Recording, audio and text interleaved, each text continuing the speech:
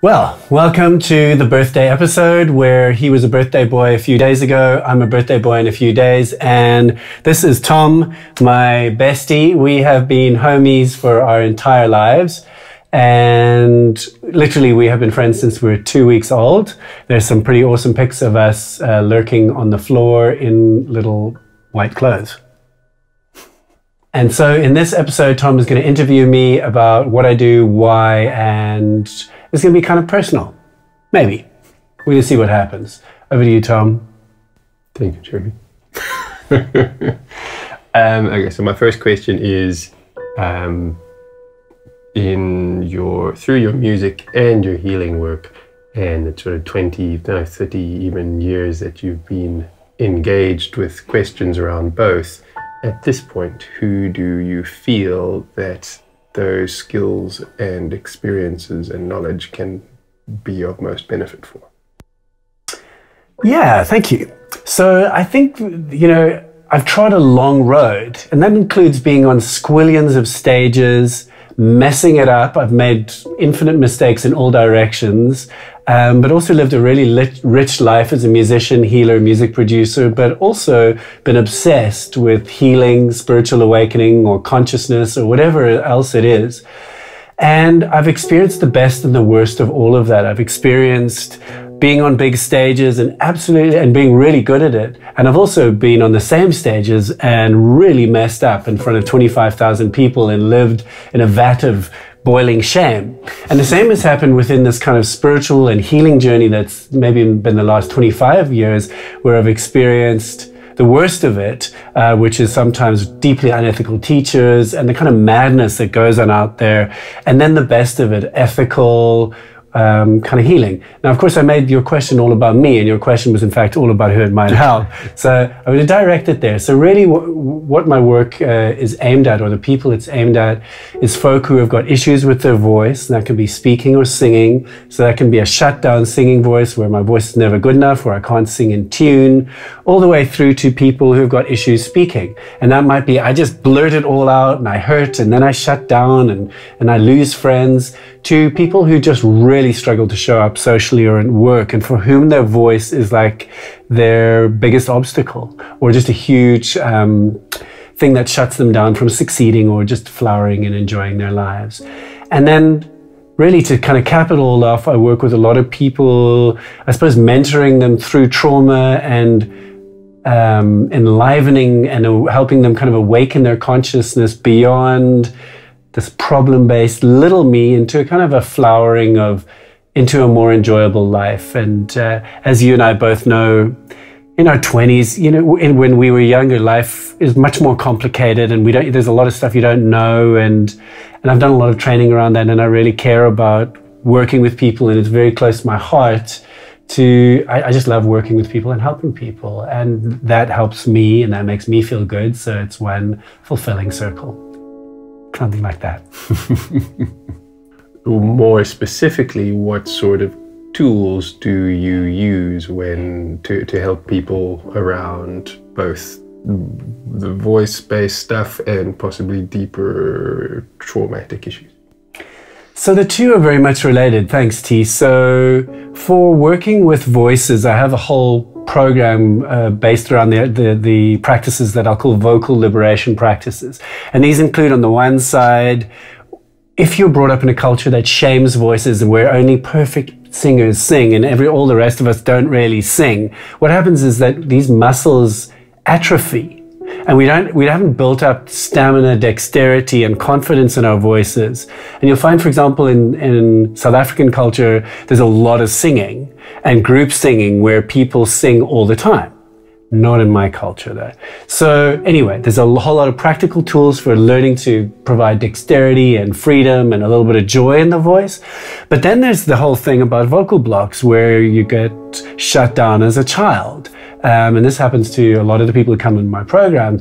And then we have to do deeper trauma-based work. And I, I will tend to work with um, I would, you know, transformation coaching, which is kind of an energy-based coaching pro um, process, plus TRE, trauma and tension releasing exercises, and somatic, in other words, body based healing practices, as well as EFT. There's just many acronyms here, which is emotional freedom technique. So I work with a series of techniques, whatever's going to work in the moment, to essentially help people release what I'd call traumatic memory or um, traumatic belief systems that, that, get embedded in us. In other words, I'm useless, or I can't sing, or it's not safe for me to speak, it's not safe for me to be in groups which are the kind of things that get lodged in people and that's then becomes their behavior. That's how I am for life unless we change it. So those are the kind of tools. Does that answer it or did that not quite answer it?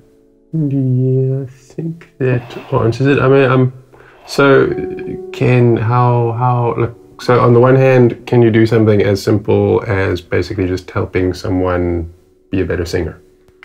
I can. I mean, I think that there are probably better teachers out there on a simply, I need technical um, advice around how to sing like Justin Timberlake. Um, that's just not my gig. There are lots of people who are brilliant at that. My interest and focus is I can feel that there are emotional uh, and anxiety related issues around my singing, and I've shut down. How do I open up this instrument when it closes? when I'm standing up in front of people, or even the thought of being in front of people terrifies me. So I often work with singers who have become shut down. So they've, they've been for all the training, but in spite of that, there's in here. And there's an, and then quite quickly in one, for example, one-on-one session, we might end up at that exact point that their mother relentlessly told the daughter, you're too much, you're too much, you're too much. Just shut up you know, it's like the classic situation of a single mother kind of trying to manage all the things, and the daughter is just a vibey teenager, kind of who's got issue, who's got mother issues just because they're a kid, and then that mother just kind of relentlessly shuts the daughter down, and it's kind of not her fault, but that's what happened, you know, and so you do the work and decode this constriction that sits there and in the rest of the body. So based on that, then it's not only for people who sing. It's absolutely not only for people who sing. Like a lot of the people who come in my courses and one on ones uh, really struggle to show up for themselves in business and in relationships, so struggle with boundaries. But equally, there's also another portion of it. I, I would call this unblocking self expression because exactly the same patterns will show up online. I can spot them from miles away. You can see, you go onto someone's social media profile and there are no You'll never see pictures of them. They'll generally be hiding online, and it's the same thing that they'll do socially and at work. And so the whole thing then becomes a kind of a self defeating pattern, which is I'm always hiding and never putting myself forward into the world. Um, and so I'll, I'll stay small. And, and, and people really struggle with that. There's just a lot of it. Those are my questions. Those are your questions. That's it. Questions. Well, I could also ask you about the future and what plans you have for 2021 because 2020 was such a humdinger. Go for it. so, yes, what plans do you have for 2021? Because I know you ran your course, I think, three times in 2020. Um, and obviously, sort of growing growing that but i also know that you've been doing a lot of your own research and, and, and sort of growing your knowledge base. So I'm curious as to how you plan to integrate the various learnings you have picked up into whatever's coming up ahead. Thanks, homie. Um, so yeah, 2021, I'm going to be doing the course twice. I just want to have a bit of a slower year. And then also just see my one-on-one clients. I, I really adore one-on-one work. Um, it's just personal and I can work with someone very directly, but I also love the courses. But anyway, so looking after my one-on-ones and then I'm studying a lot. I'm studying a lot of vocal technique and vocal pedagogy um, to really just keep learning more and more about the technicalities of how this all works. Plus I'm studying clinical EFT and energy psychology, you know, just I think just in a constant process of um, deepening my knowledge, as well as a lot of mindfulness and meditation stuff that I am deeply studying uh, on an ongoing basis, while being in clinical supervision with my psychologist supervisor. So it's just a huge push to keep it responsible, keep deepening the work that I do, um, and do it better. Um, the, the weird thing about what I do is that I can't really find other people who do what I do. So I'm kind of developing this exact niche, but that means I've really I've got to keep on working out what it is and how to be effective at it.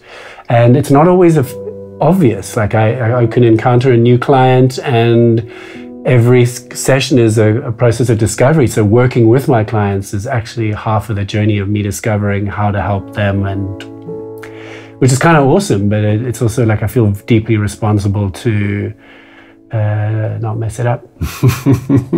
Very good. Yeah, so in 2021, I also I, am intent on making more music this year. So I'm researching a lot of vocal-only music and choir music and aspects of African music, but also other uh, international forms of, of sung music. Because I, I, really like, as soon as we can get together in crowds again, I just want us to sing and move together and um, have fun. Have a party. Have a singing party. In way. tequila! nah. When last did you have a tequila, Tom? Oh, that would be Wednesday, when I was soon after I turned 50. Right. I last had a tequila, I think, in 2000 and maybe 18 or 17. They still taste good. They still taste good. so, do you think we've got that? Do you think that just is? Yeah, I mean, I could just say that I think that at some point you should watch however many million people are watching your channel. You should show them a little bit of where you live. Oh, yes. Because I came up just for the night and I feel restored, yo. Mm. Rejuved. He has slept like a sloth. he had a big nap. We had a big breakfast. A big and oh, hills, rivers. Oh, yeah, so good. Like this section, I could just put into the Insta stories for all the people that know both of us. um, just like a little cut.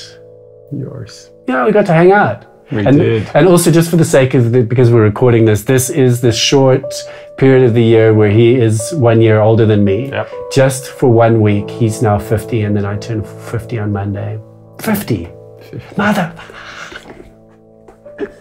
totally calm about it, totally up for it, but, but also it's kind of mind blowing because we're still teenagers. We, we still very much we we are teenagers, yes. You know, it feels like being teenagers and twenty somethings and thirty. It's like all the ages. Yes, you know, like but it starts around teendom. Yeah, exactly. Except when I'm really sad because then I'm four.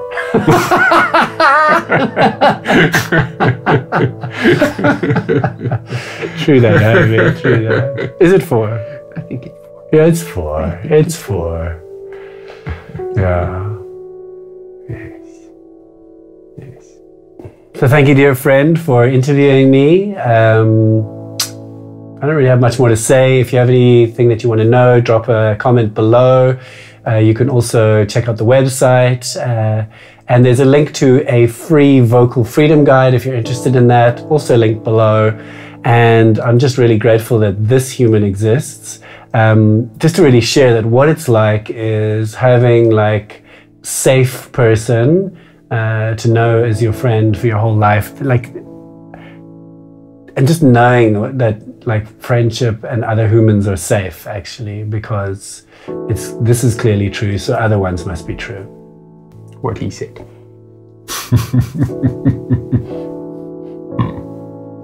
Go.